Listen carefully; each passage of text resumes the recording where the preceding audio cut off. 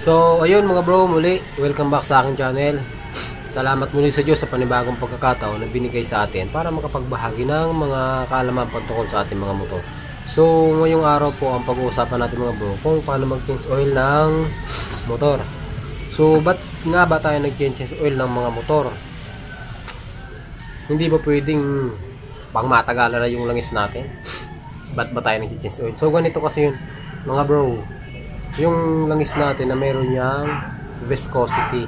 So, yung viscosity ng langis na yun, nawawala po yung pag once na ginagamit or ginagamit natin yung motor. So, kaya kinakailangan natin mag-change mag-change oil kasi pa-possible na ma-damage yung ating mga makina. Yung mga gear, yung mga lining. So, kaya tayo nag-change oil. Kailan ba, kailan ba dapat tayo nag-change oil? Sabi ng ibang mga mekaniko, every one month daw ako hindi masyadong ano din eh, conforme dun sa every one month. Sa, sa, kasi depende naman yun eh. Paano kung sa one month ang tinatakbo mo araw-araw ay 50 kilometers? So, medyo mahaba-habang ano yun.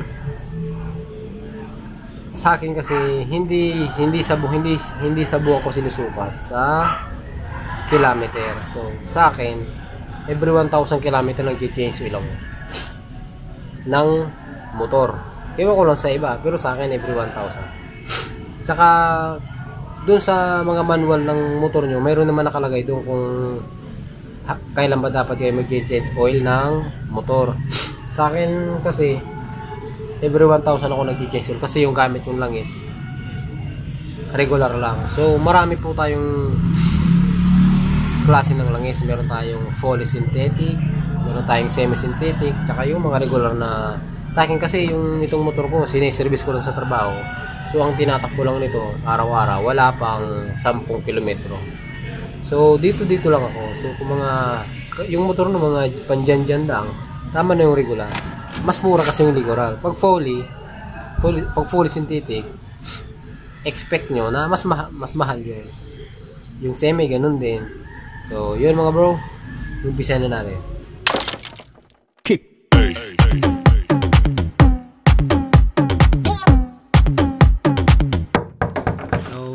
Bro, so ito yung i-change oil natin na motor. So bali kung nakikita nyo, napat, napatulo ko na yung langis niya. Kasi kanina, nagtanggal na, nag, mag-change oil sana ako, naisipan ko, sabi ko, makagawa nga ng tutorial. So kaya kung makikita nyo, tumagas na siya. So bali, ang unang-unang unang-unang gagawin nyo dyan, kung nag-change oil, mas maganda, nasa tamang temperature yung makina nyo. Kasi para hindi malapot yung langis. Tapos ito yung drain bolt. Nandito yan sa ilalim nakakabit so sa ibang motor ang size nito ay 14 so sa akin ang size nito ay 17 kaya so 17 rin ang gamit ko. Ayan. So una maglagay kayo ng lagayan ng ano ng langis diyan sa ilalim gaya nito. Sabay buksan nyo yung ito. Pagkabukas nyo syempre tutulo na yung langis diyan so antayin nyo lang siyang maubos hanggang, hanggang wala na lumalabas. So kung gusto nyo mas kanina pa kasi ni kaya kung makikita nyo patak patak na lang. Mas maganda pagpadyakan nyo rin. Yan padyakan natin Yan.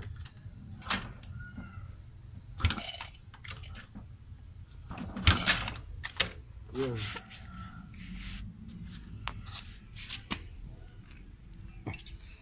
Makikita niya. Mataw lupa. So, yun lang. Ganun lang po yung pag-change.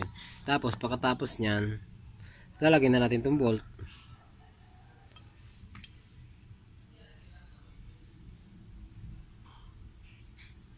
So, ganun lang po.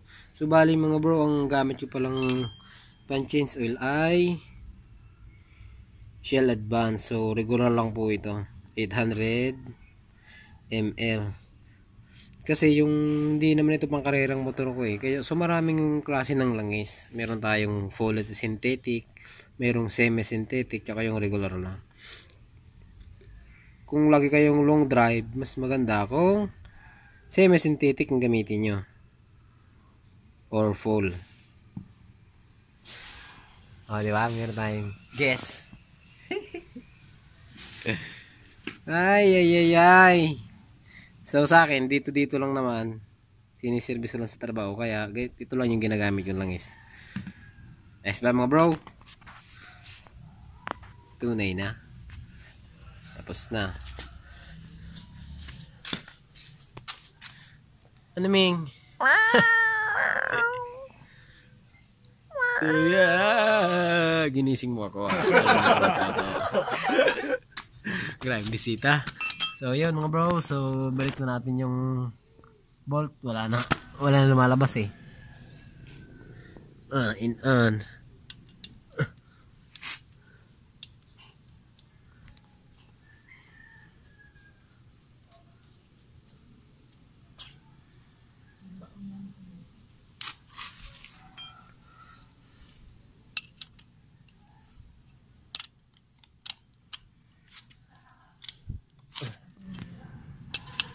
So, sa paghihigpit, huwag yung masyadong mahigpit yung tama lang kasi baka malustred yung drain bolt nyo. Mahirap na.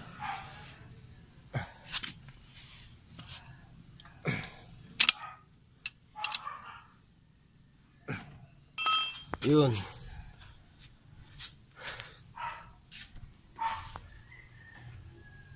Yun pala.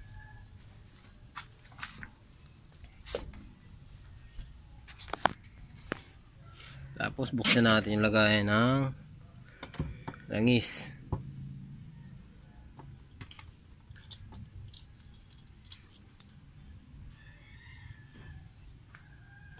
Tapos mas maganda huwag nyong isalan dito yung diretso yung yung langis kasi marami matatapon. So mas maganda meron kayong imbudo. Ano Tagalog ng imbudo? Imbudo. Ito, gaya nito. So, lagay nyo dyan.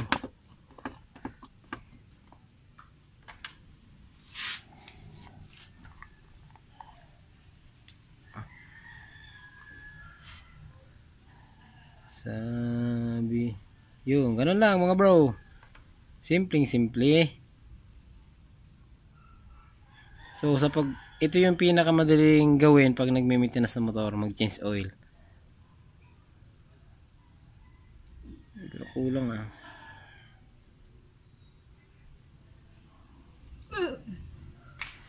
Chig-chig.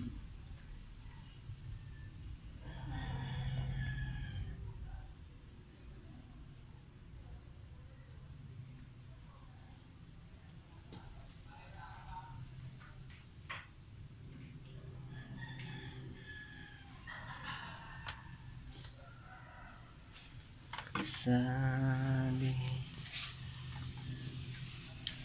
So, yun mga bro, ganun lang yung pag-test natin yan. So, ba, yung dipstick.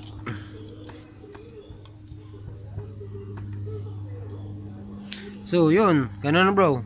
Ganun lang yung pag-change oil. Madaling madali lang. So, ganun mga bro. Ganun lang yung pag-change oil ng motor. Napakadali lang sabi ko nga kanina, ito yung pinakamadaling gawin pag once na nagme-maintenance na tayo ng ating mga motor. So, sana meron kayong natutunan. Thanks for watching.